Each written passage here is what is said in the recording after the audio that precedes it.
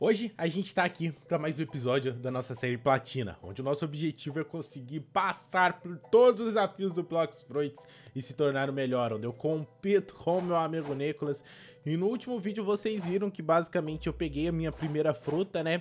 E, cara, o negócio é o seguinte, eu tô tentando utilizar a cabeça. Bom, é, é, eu dei risada porque, né, mano, a gente enfim, mas o negócio é o seguinte, eu tô tentando usar as melhores estratégias para eu sair na vantagem aqui contra o Nicolas.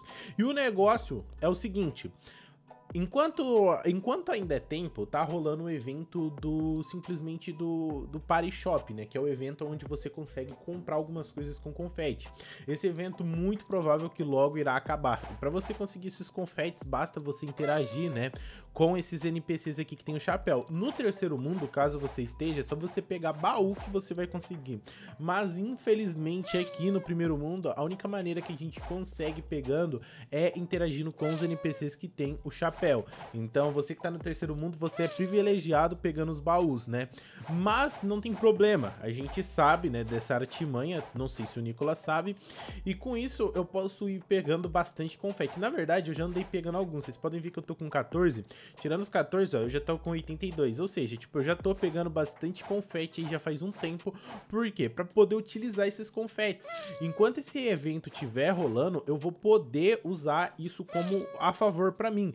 E o vendedor de confetes, ele, ele não vende confete, né? Mas o vendedor que compra as coisas com confete, ele dá algumas coisas interessantes pra gente. Então, meu negócio é ver o que ele tem lá agora, porque ele pode simplesmente nos vender muita coisa, desde frutas até dobro de XP e também uma das coisas que eu mais quero Pra ser sincero, eu já queria tentar pegar a minha raça.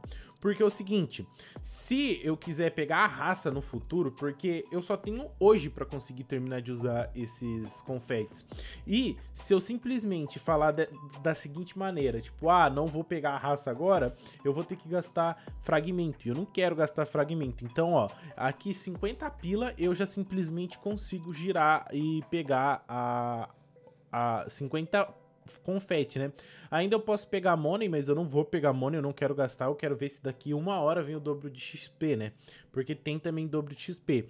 E o negócio é o seguinte, a cada uma hora a gente pode pegar 100 confetes, então, né? Eu já vou comprar aqui pra poder girar minha raça e vamos ver o que vai vir. E olha, veio como Sharkman.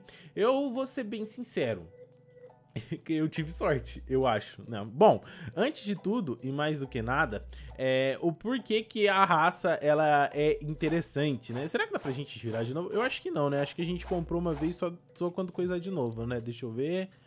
É, não dá pra comprar de novo, não. Eu até tava em dúvida, eu, eu, obviamente se viesse Skypiano eu não ia querer, né? Mas eu tava na dúvida entre, é, entre Mink e Sharkman.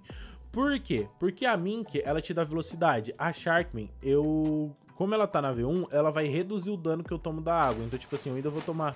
Ó, eu tô tomando pouquíssimo dano que vocês estão vendo, mas tô tomando dano. Se eu não tivesse de Sharkman, cara, eu provavelmente já teria morrido naquele tempo que eu fiquei ali. Mas o mais interessante de eu ter pegado a Sharkman é que quando no futuro eu quiser fazer ride, vai me ajudar. Porque se eu tiver na V3, ela me dá uma habilidade muito mais interessante. Mas eu quero simplesmente fazer o seguinte, eu consegui aqui, né, pegar a raça mas ainda tem outras coisas que eu quero pegar. Então o que, que eu vou fazer? Eu acabei de reiniciar o servidor. Para reiniciar o servidor basta não ter ninguém no servidor e você entra e sai novamente. E basicamente agora eu vou falar novamente com todos os NPCs que tem o chapeuzinho pra... Ué, não... mentira. Mentira que não funciona. Me, eu achei que com os NPCs funcionava. Eu fazia isso no terceiro mundo com os baús. Me, não funciona. Nossa senhora, me lasquei mais do que eu imaginava. Bom, agora para poder fazer o que eu quero, eu simplesmente vou ter que andar de ilha em ilha, conversando com os spawners, né, com os caras que setam spawn point e conversando com o pessoal dos barcos, né. Bom, pelo menos tem ilha que tem tipo 3, igual essa daqui. Então eu ainda posso pegar 100 confetes ainda. E bom, eu preciso pegar esses confetes para poder depois gastar com dobro de XP com fruta, o que eu quiser. Ser honesto, isso tá demorando mais do que eu imaginava. É, até porque eu não imaginei que os NPCs eles não resetariam. Bom, é, complicar a nossa vida que o Block Streets quer, mas tudo bem, né? Eu tô indo pra última ilha, no caso eu tô passando aqui agora é, pelo, por Skypiea, então só falta um confete, tipo, né? Eu não vou deixar de não pegar esse confete, se eu cheguei até aqui, mano, vamos pegar. Mas, cara, deu meio que certo, você vai passando por todas as ilhas e meio que você consegue. E agora eu só vou conseguir mais confetes quando der o total de, né, quando passar uma hora. Então, beleza, ó, se eu falar com o NPC aqui, ele vai dar um confete que fala, e se eu tentar falar mais com outro NPC, vai falar que eu já peguei o máximo de confetes naquela hora.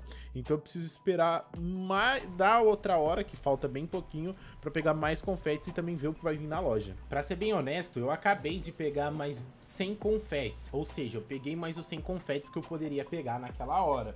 Então agora eu quero vir ver se tem alguma coisa interessante aqui, porque por favor, cara, seria muito bom se a gente conseguisse juntar o suficiente pra pegar o chapéu que ele vai dar XP infinito pra gente. E isso simplesmente seria uma das coisas mais geniais que a gente conseguiria fazer aqui. Só que pra eu poder pegar ele, eu vou ter que gastar muito mais do que eu imaginava.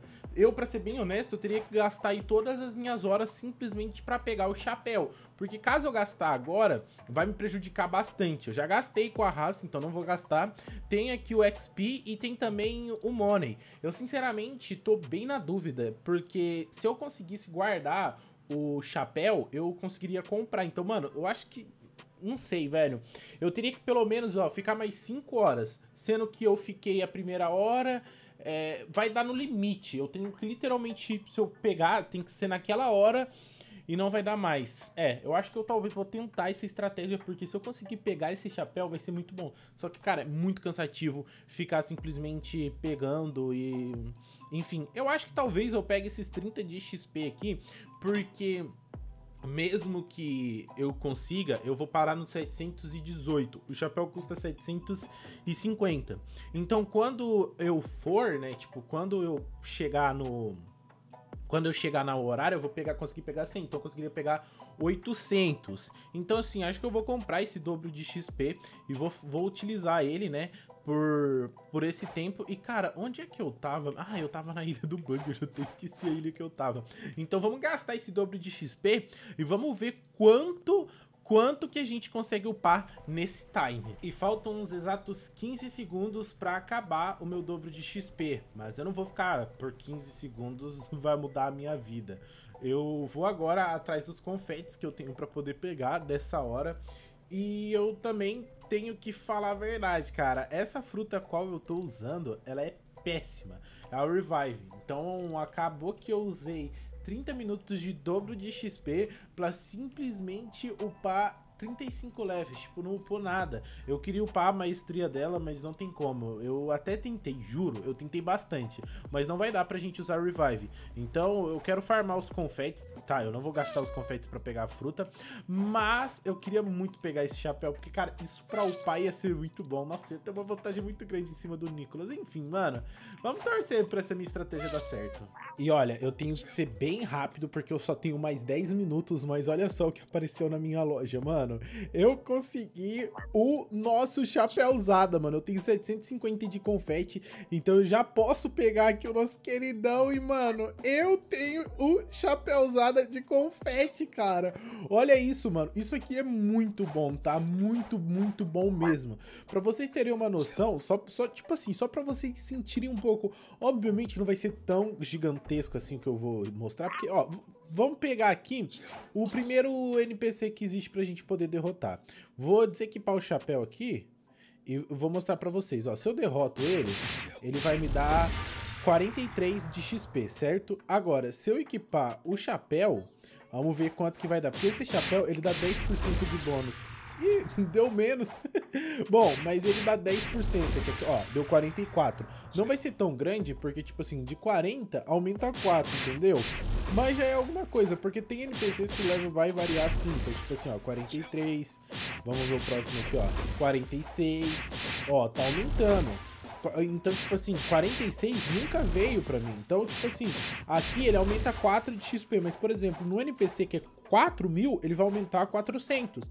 E quando eu colocar o dobro, eu vou ganhar 2.1 de XP. Ou seja, vai ser muito mais XP. E agora que eu consegui o Chapeleira, mano, tô feliz demais, cara. E agora sim, eu posso upar, mas antes de upar eu ainda preciso fazer algumas coisas, porque desse jeito não dá.